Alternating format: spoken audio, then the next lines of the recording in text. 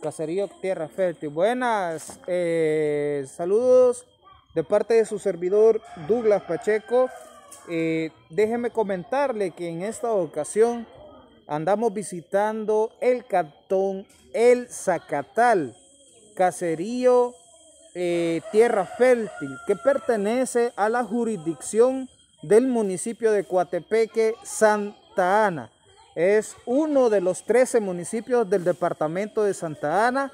Aquí andamos visitando un centro escolar al cual nos han solicitado una humilde colaboración porque eh, queremos presentar algunas de las principales necesidades de esta pequeña escuela que da asistencia a unos niños que reciben clases de hasta sexto grado. Ustedes pueden observar a mis espaldas lo que es el baño donde los niños hacen sus necesidades. Déjenme comentarle que este baño este, es de fosa no es de China.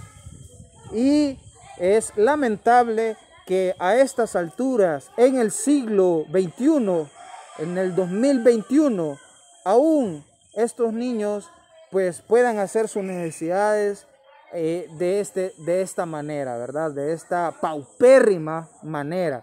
Bueno, vamos a hacer un cambio de toma para enfocarles una de las principales necesidades de esta pequeña escuela del caserío Tierra Fértil. Pueden observar de que este es el perímetro o más bien este lo que se le puede llamar perímetro. Mire, estas son mallas completamente eh, deterioradas que no están al nivel. Por cierto, déjenme comentarle de que acá, allá en esto de aquí, pues este corre el agua de un río que se forma en invierno y son torrentadas de, eh, de agua que baja del cerro que tenemos allá, mire. Allá está el cerrito. Entonces esto viene desde allí. Permítame, quiero ver si podemos hacer un acercamiento. Allí, Allí de ese lado es que viene el, la corriente y pasa por todo esto. Mire. Allí. Y este es el muro que aparentemente tendría que encargarse de salvaguardar a los niños. Vean. Aquí prácticamente uno pasa y uno ya se encuentra fuera del terreno de la escuela. Mire, ese, eh, ahí va el cauce del río, de la quebrada, que se forma cuando empieza el invierno. Este es parte del muro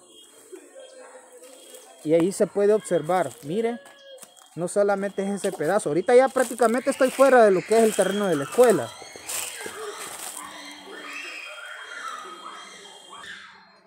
Vaya, aquí vamos.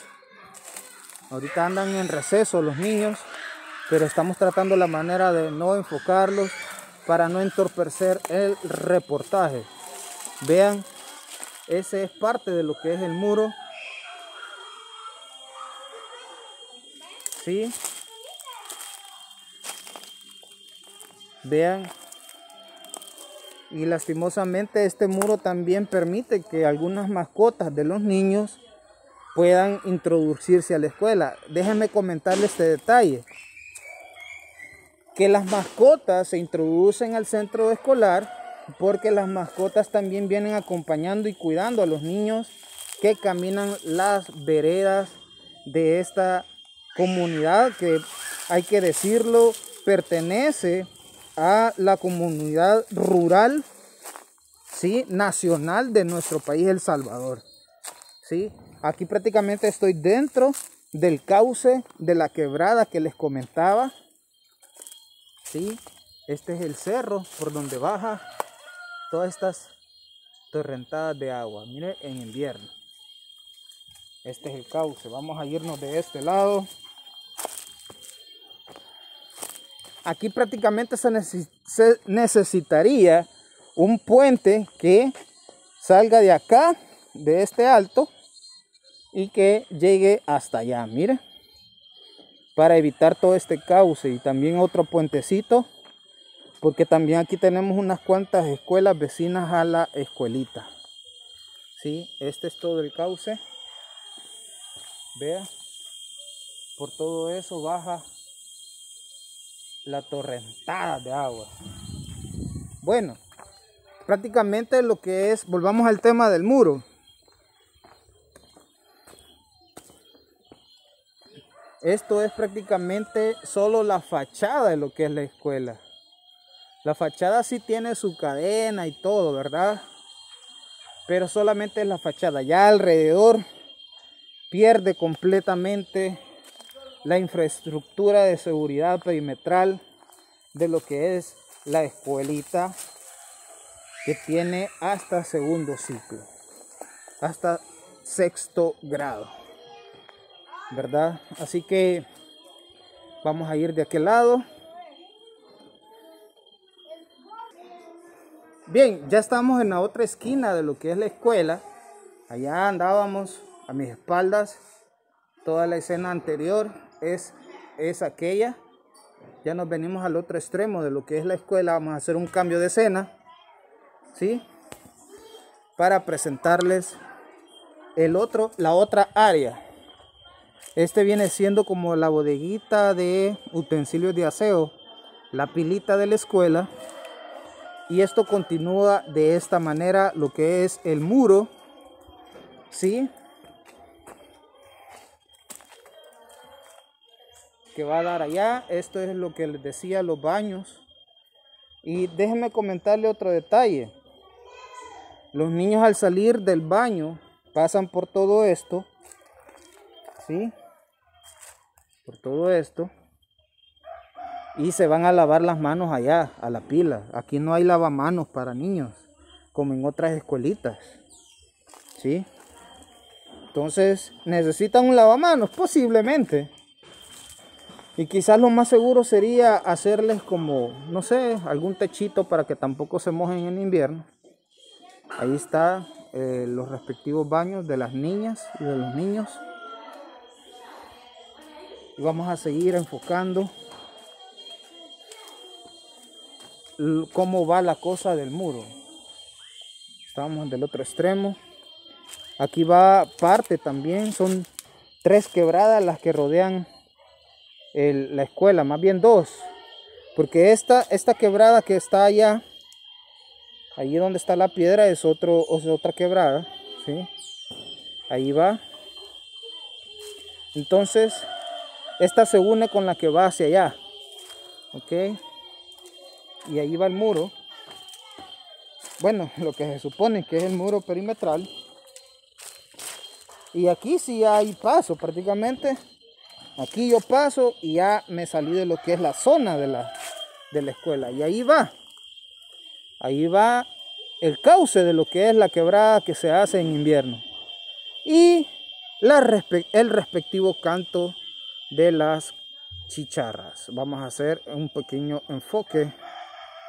Allá se mira también parte del cauce.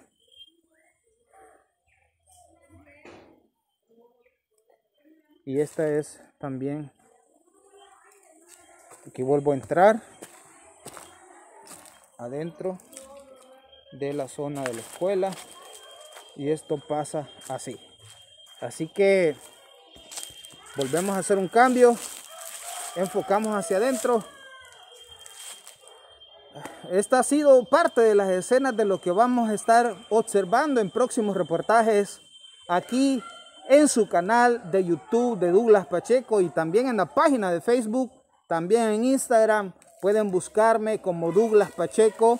Estamos para servirle. No es primera vez que le damos cierta asistencia de este tipo de, medios a las escuelas que de verdad necesitan, de las que pertenecen a la comunidad rural, lastimosamente están siendo marginadas también por este gobierno que ya lleva ya dos años de gestión y las, las personas encargadas de esta escuelita han hecho las diligencias correspondientes para solicitar apoyo, ¿verdad? Y se les ha sido negado.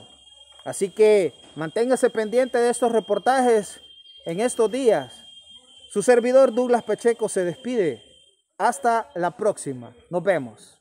Dios me lo bendiga. Suscríbase al canal y démele like y comparta el video, por favor. Tratamos, tratemos la manera de hacerlo lo más viral posible. Compartamos y si usted quiere ser parte de un desarrollo para esta escuela, pues bienvenido sea. Su servidor, usted ya conoce mi trabajo, tenemos ahí varios videos. Busque en mi canal una lista de videos que se llama Trabajo Territorial y usted va a conocer cómo es que colaboramos para que el desarrollo se dé en situaciones incluso marginales. Así que saludos a todos, Dios me los bendiga y compartamos el video. Chao.